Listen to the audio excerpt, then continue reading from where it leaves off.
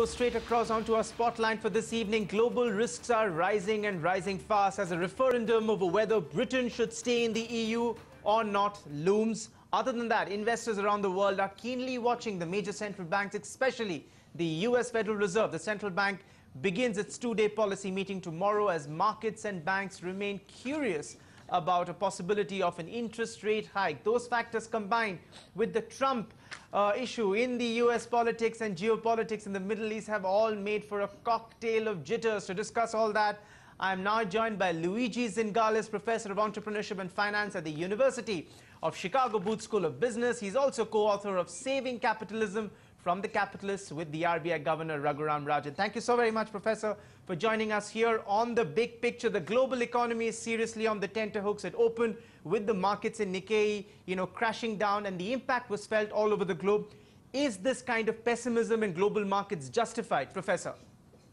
I think it's a bit excessive. I think that uh, even if uh, the UK were to decide to leave the EU, will not be the end of the world I think that uh, the Europeans export uh, many more goods to England than the other way around. So I don't think they're going to retaliate massively. And uh, they're still part of the WTO, so the, the tariffs would not be that big.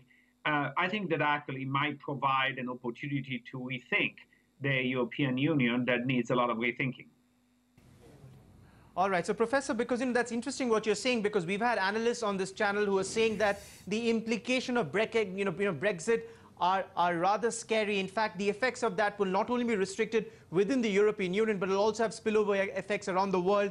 And and these voices of concern are coming up, Professor, largely because now, you know, there are these sort of, uh, you know, exit polls uh, numbers that are coming out where it seems that the Leave campaign, the voices are growing very, very loud. So in that sense, you're saying that we should not overreact even if Brexit were to become a reality tomorrow?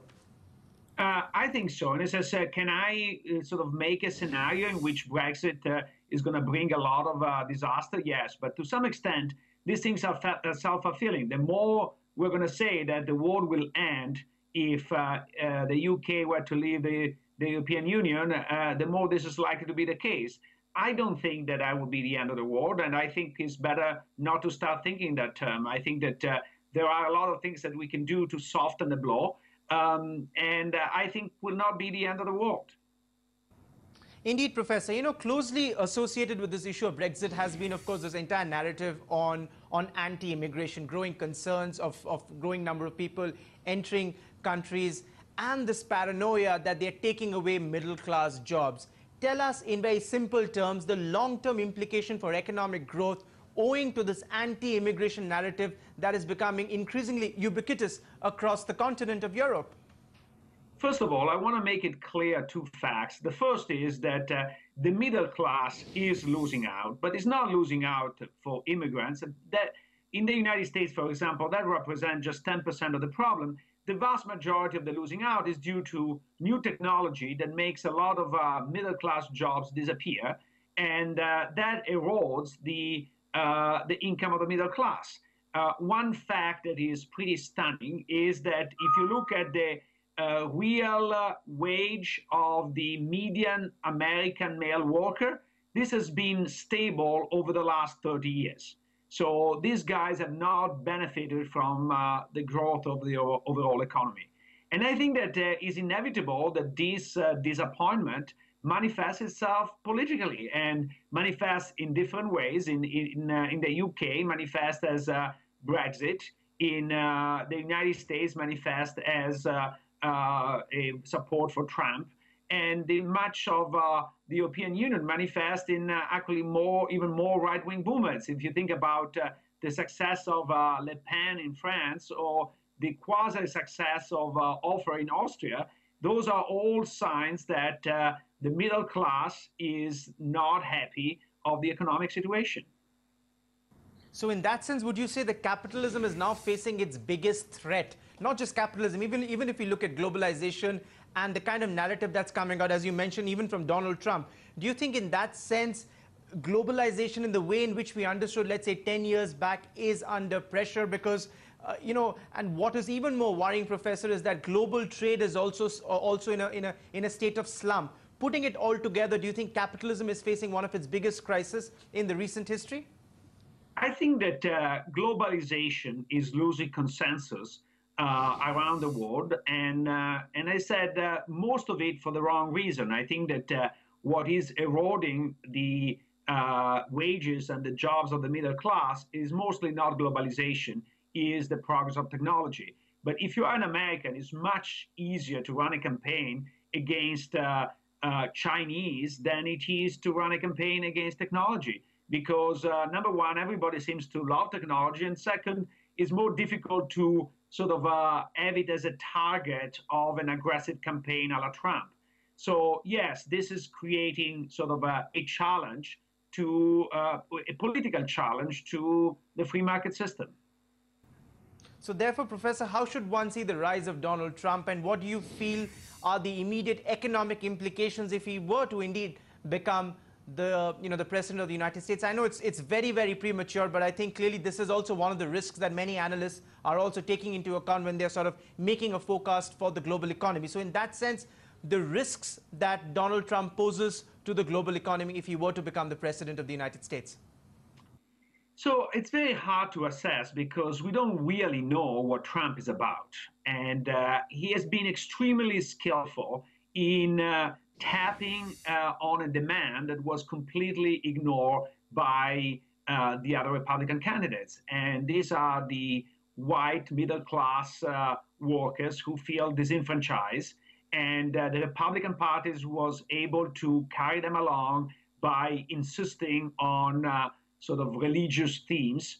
Uh, but this election seems that they don't care about the religious th- themes. They care about their economic situation. Now, will Trump really become an advocate of the interest of, uh, of these guys trying to change things? Or as he used them just to propel it, himself to the national uh, um, stage and then he will do something else? It's very hard to tell at this point. I think that uh, the second hypothesis is more likely, uh, but uh, as I said, it's very hard to tell. All right, Professor, let's just shift gears and talk a little bit about, about Prime Minister Narendra Modi. And I'm very curious to know, you know, what you make out of, you know, make of him, uh, you know, from a distance, because clearly when he became the Prime Minister, it was seen as perhaps the Thatcher or the Reagan moment for India, where, you know, where he would sort of, uh, sort of make free markets the running theme of the government and pull back government from a lot of areas. Two years down the line, how do you assess and what is really the perception of Narendra Modi in the United States, for instance? So I think that uh, uh, unfortunately there is not so much discussion in the United States about India, and I think that's a big mistake because India does represent uh, a, a, rising economic power and a natural ally of the United States in the in the world scene. I think that the uh, latest visit by Modi uh, was uh, quite important in this direction, and I think Modi did receive a lot of recognition uh, both speaking in front of Congress and, and uh, co-writing an editorial uh, with President Obama. So I think that the awareness of the average American vis-a-vis India is increasing, and overall the perception of President Modi is, is good. So in that sense, do you think he's lived up to the expectations of many, you know, many quintessential free marketeers like yourself? uh, I don't know enough to say whether sort of he lived up in every dimension to those expectations. Uh, it's always difficult for a government to live up to all the expectations. I think that at least the direction India is going seems to be positive, uh, both in terms of uh, of growth uh, and in terms of uh, changes and liberalization, and also a cleaning up of, of the of the banking sector. Let's talk a bit about Raghuram Rajan, your friend, colleague, somebody with whom you've, you've co-authored papers and, of course, a very famous book. Clearly, Raghuram Rajan's uh, possible second tenure as the governor of Reserve Bank of India has created and has been hotly debated within the country. Uh, I know your opinion might be biased, something that you've also alluded to, uh, you know, you know, to the press earlier. But give us, you know, how how is the world looking at Raghuram Rajan, the central banker from India? So I think that uh, the world, but not only the world, I think also India looks uh, at him uh, as uh, uh, the person that uh, arrived to that position thanks to his merit and not his connection or political connection, and also sees as a person that is trying very hard to uh, improve the allocation of credit in India. Uh, Raghu is, is, a financial economist who has studied for many years uh, what uh, are the long-term consequences of having an inefficient banking sector that does not bring the financial resources to the right place. Um, and even worse, what are the consequences of a, a banking sector that uh, trades favors for large capitalists or large industrialists who are treated very differently than the average common man? And I think that as a governor of the central bank, he has a chance uh, to change this. And, and my impression from the outside, from what I read, is that uh, he's actually doing uh, uh, important steps in that direction.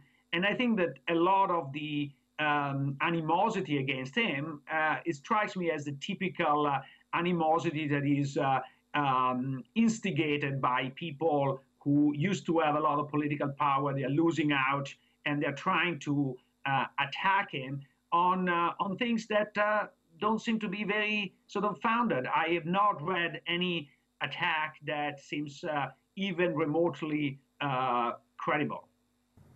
So in that sense, you're saying that the fact that he is cracking down on this, you know, on the non-performing asset crisis, bad loans crisis, and, and something that, you know, you've also talked about in, in some of your papers is the need to have a, and create a pro-market culture vis-a-vis -vis a pro-business culture. You think that is what Raghuram, Raghuram Rajan has done successfully, because of which some of the vested interest groups are now hitting back at him and don't want him to be around? Absolutely. I think that uh, uh, the fight against vested interest is not an easy fight. And I really admire Raghu because I've only written about it, but he seems to actually conduct this fight in, a very difficult situation. And I hope that uh, he has the support to win it.